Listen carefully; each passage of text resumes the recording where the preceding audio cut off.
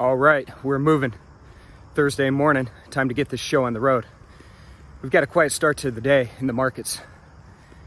Flat in the equities.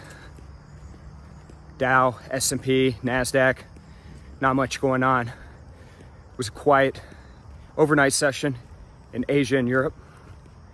Oil's flat, gold's flat. Silver, on the other hand, big 4% move overnight.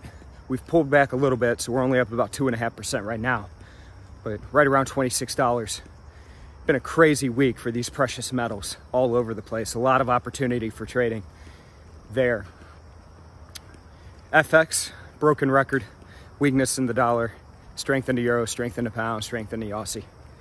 We've got the just, uh, sorry, initial jobless claims number coming out this morning, 8.30 a.m. Eastern time. So for the, those of you folks who major predictions on the Nadex initial jobless claims contract that will settle this morning.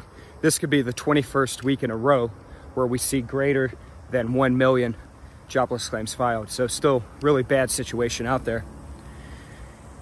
Now we talked about talked about it last week in our throwback Thursday, how far we've come since those lows we experienced back in March we are about six points shy with yesterday's close in the S&P. Six points shy from an all-time, from hitting that all-time high that we hit back in February. It's just crazy to think. Six points away. So, we'll see what today brings. See if we can hit that 3386 today in the S&P. All right. Let's not waste another day. Let's get out there and go get after it. I'll talk to you folks again tomorrow. Check in with us on Facebook and Twitter. We'll keep you updated. All right. Bye bye.